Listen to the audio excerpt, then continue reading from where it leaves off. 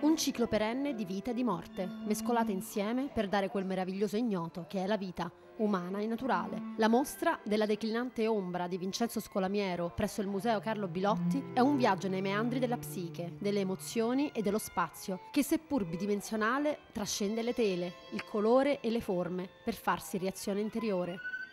Io mi nutro molto di musica e di poesia per il mio immaginario artistico. Tutta l'arte che per me conta è un qualche cosa che fa riferimento sempre alla dimensione umana. La mostra è divisa in diversi ambienti qui al Museo Bilotti che comunque eh, dialogano tra di loro come in contenitori non chiusi ovviamente, però con le loro specificità, molto legati eh, come eh, dinamica di costruzione dello spazio, ma con dei riferimenti altri. Cioè abbiamo una stanza dove sono esposte delle partiture